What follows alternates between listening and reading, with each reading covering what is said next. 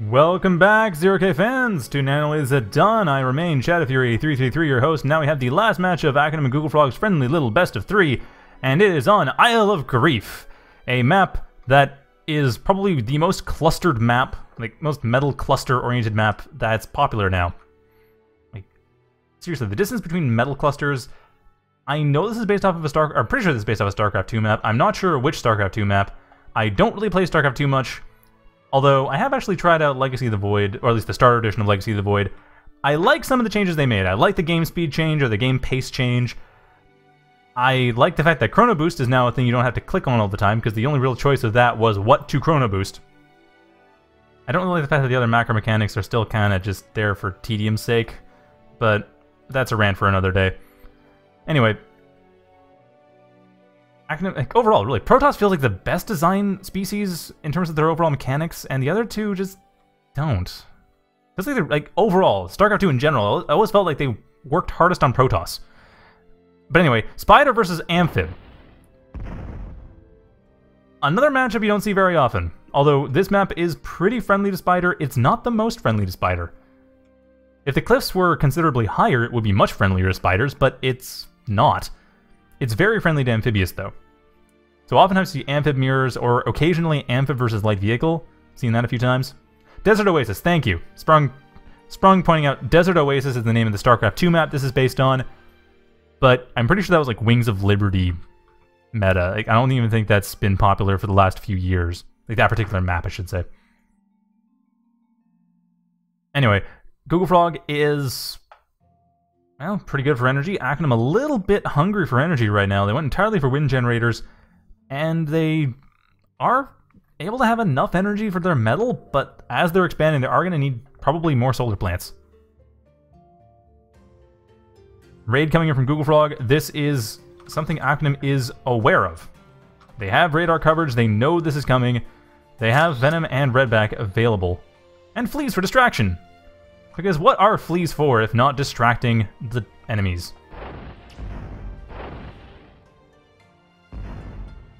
Well, it looks like they didn't manage to actually synchronize properly. But that's two ducks down for basically free. So this is going to be interesting. Like I said before, Spider, actually, I should say, partly shield bot matchups, partly spider bot matchups are unexplored. Like, Spider versus Cloaky is heavily explored, Spider versus Jumpbot's fairly explored. But Shieldbot versus Jumpbot, I haven't seen, I've seen a bit of. Shieldbot versus Spiderbot, no. Amph versus pretty much anything but other Amph and maybe Cloaky? Not much, for bot matchups at least. For vehicle matchups, yes. Like, you see Amph versus Hovercraft, or sometimes Amph versus light vehicles, or Pokemokas and obviously Amph versus everything. But not so much this. Amph versus Spider. Or Amphibious versus Spider. And yeah, Sprung pointing out, Aquanim is the Amph. Aquanim is the Amphib map, or Amphib player. This is Google Frog. This is Aquanim. So yeah, sorry, it was... Yeah, right, Google Frog had the energy. Sorry, my mistake. Google Frog has the energy, Acronym's the one who's falling behind with only the two solar collectors. Google Frog's the one with a nice wind gen farm. I I was kind of confused thinking, this much, this many wind gens should be fine, because it is fine, because Google Frog's doing fine. Ugh.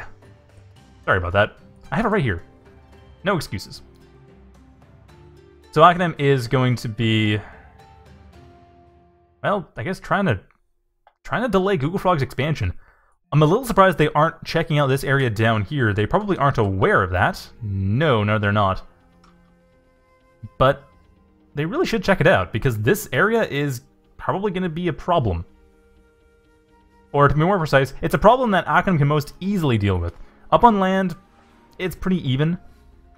I mean, okay, it's down to how powerful Spider versus Amphib is. I haven't seen it too much. But in the water, just due to the speed difference, which admittedly isn't huge, spiders are largely fairly slow, but still, it makes a slow unit even slower. The Amphibs could easily just run through here and smash this entire area up. But the question is, are they going to? I don't know. We'll find out, I guess. But yeah, I have no idea. Looks like they aren't going to do, though. Looks like they're just pretty content to hang out here. Just trying to do what they can to stop Google Frog from expanding further, or at least from attacking their expansion. Yeah, Aquanim at this point has not taken the eastern side of the map, while Google Frog has taken the central west side of the map, and Aquanim also not taking the northwest side, while Google Frog is taking the southeast. So overall, Google Frog is getting way ahead economically, and Aquanim is trailing at best. If they're even following. And there we go, Duck coming in and getting killed for its efforts. Getting one shot off. I, I saw a few boys coming in before. Yeah, there, there, there's the boys. Which makes sense. Scallop's coming in as well, which will survive one Venom shot. But this is the real problem. Google Frog coming in with the gunships very early gunship switch. Not even going for Hermit Drop from the looks of it, but otherwise not really even worrying about it. Getting... Ooh. Wait, what just napalmed? Oh, Blastwing! Right! Of course, I forgot about those. I only saw the, the Banshees, I didn't see the Blastwings. Yeah, Blastwings are now a thing differently than they used to be. Like, instead of blast wings being the explosion with shrapnel, now they're explosion with fireball. Totally forgot about that. Oh, no, never mind. It's a Weaver drop. Defense rush. Huh. That's not something I've really seen before. At least not often. So yeah, we are seeing a Lotus Rush. How appropriate for a StarCraft map that you get effectively a cannon rush. But that's what happened closing out this best of three with a Lotus Drop Rush. I don't recall having seen that in 0K at least before, but that just happened. Mark it, I guess. That's a thing that happened. So let's see, 206, I can do another one. So there's another match that was also Google Frog, Google Frog versus Kloon on Living Lands. This is not, as far as I know, part of any friendly series. This is just a match. So that'll be up in a couple minutes, stay tuned.